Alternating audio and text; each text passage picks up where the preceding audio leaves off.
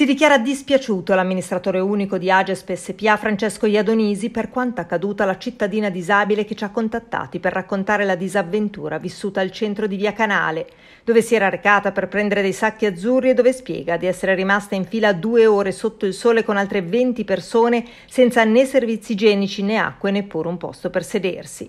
Anche se qualche sedia c'è, siamo consapevoli che non siano molte, risponde Iadonisi, il quale assicura che è prevista la realizzazione di un restyling parziale dell'area per renderla maggiormente confortevole anche per l'utenza.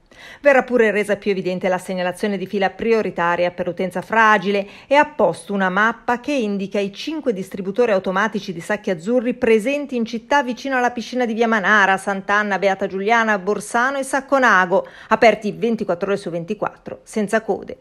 Certo, la dote consegnata a ogni famiglia è basata su un ritiro quindicinale, quindi più se ne ritirano, più si pagano.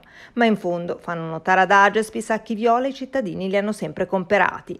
Quanto alla tempistica dell'entrata in vigore del ritiro ogni due settimane, è legata ai sei mesi di sperimentazione necessari per calcolare la TARIP, ossia la tariffa puntuale che dovrebbe entrare in funzione a gennaio. In base al principio, paghi i rifiuti che produci.